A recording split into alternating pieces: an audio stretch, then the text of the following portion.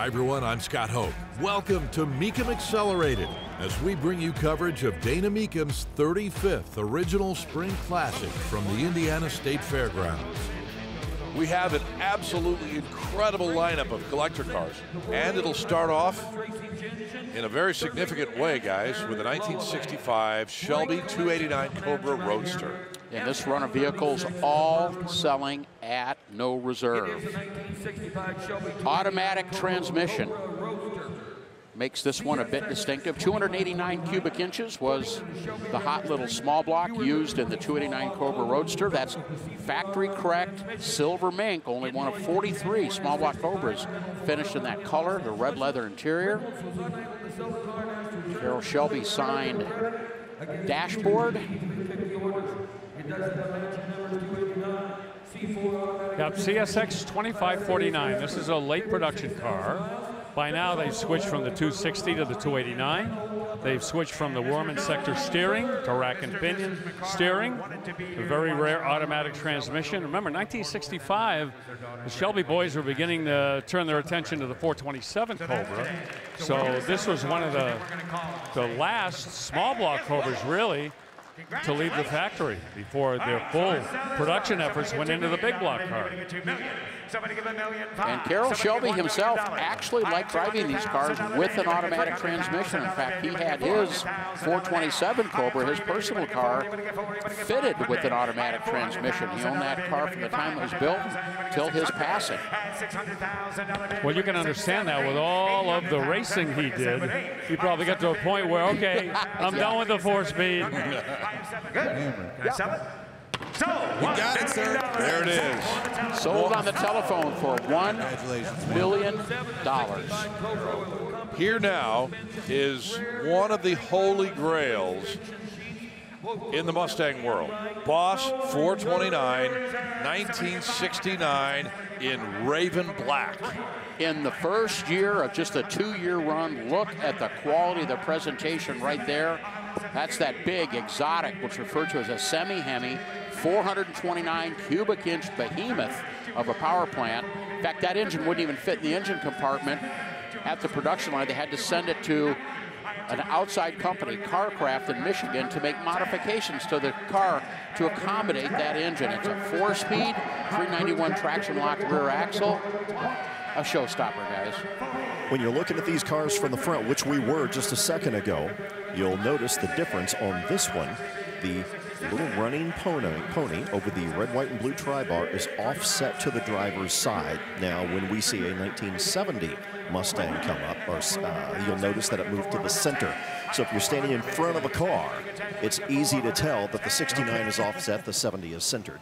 That's all right. Hang on with me. I know an easier way. Count the headlights. If you're standing at the side, there's an easier way. Well, the two headlights too, you're right. Or the front, 1969, body color scoop. 1970, they're all black. Very good.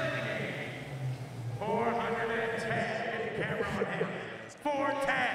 $400,000, now 410. Anybody get Go get in his face. 410 bid. Yeah, do it. 410 bid. You want to get 420? 400, 420. 410. 420,000. So,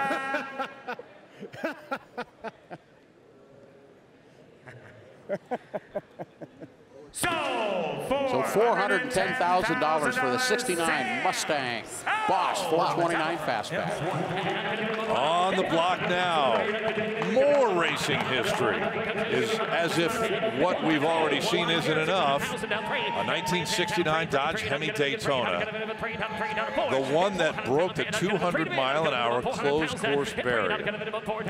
Talladega, driven by Buddy Baker in March of 1969, began life as a production Charger Hemi 500. It was stolen. It was a press car. It was stolen. It was recovered, taken over at Nichels Engineering. And this is the result. The prototype NASCAR Daytona. The flush rear window, part of the 500 package, but the wing and the distinctive front end.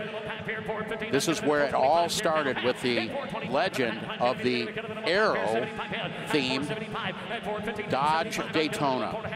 426 cubic inches, of course, of Hemi power with a four-speed transmission known as DC-93. It's actually driven by Don White to some race wins in USAC, USAC stock car competition, but obviously best known for breaking the closed course speed record at over 200 miles per hour.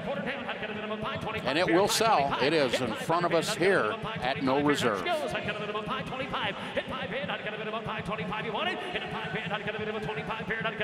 Wow. People wonder what the NASCAR style 426 Hemis were putting out as far as power back in this time period and it's somewhere in the 575 horsepower range. That combined with the aero, 200 miles an hour. Just sold for $500,000. Well, here is the Lamborghini legend, if you will. The Countach, 1988. This is an LP 5000. Unrestored, all original odometer in kilometers, just a little over 16,000.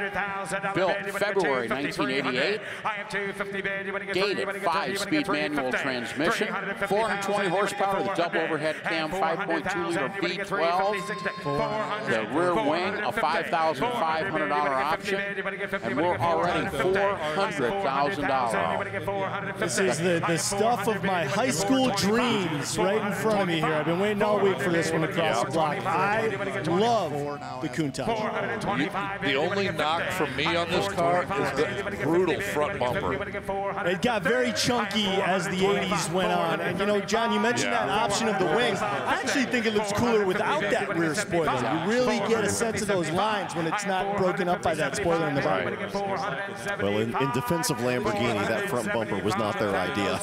Well, I understand that, yes, and it was kind of born out of necessity, and it's like, oh, what are we going to do? You know, it's amazing though how Lamborghini hung on to the angular lines, even in the newer Gallardo and some other models that we see. Well, that's the Quattrovalvole. That's four valves per cylinder. 32 valve, uh, no, not 32. Let's see, uh, help me with my math here. That's a 12 cylinder with four, 48. 48, thank you.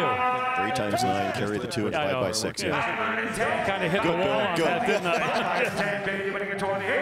You know, guys, I very quickly told the story of how the Countach got its name, too. That's a great story. Yeah.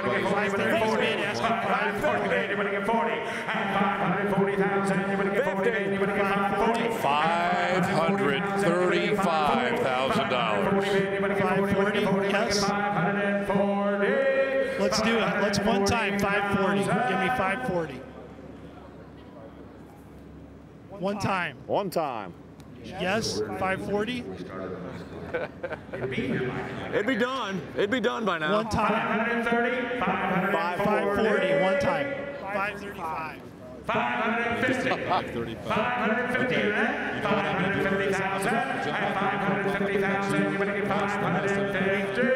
We're at 535. Let's go. Hammer. Let's get it. Uh, Told you should be 550. We should have been Hang it in there. the whole time. I got 545. It's bid. Wanna do It's coming to the end. If he wants it going, or he's going to. Gotta go. 550? 555. 555. He Wait, said no. wait. 550. 550, last call. Yes. 550,000. You want to get 50 million. You want to get 550. 545. $545,000, another epic bidder battle on the phone, on the internet. $545,000, guys. As good as that car is, it's still outside the top 10 today. Oh, my word. Well, that'll do it for this edition of Mecum Accelerated. I'm Scott Hoke. Thanks so much for joining us.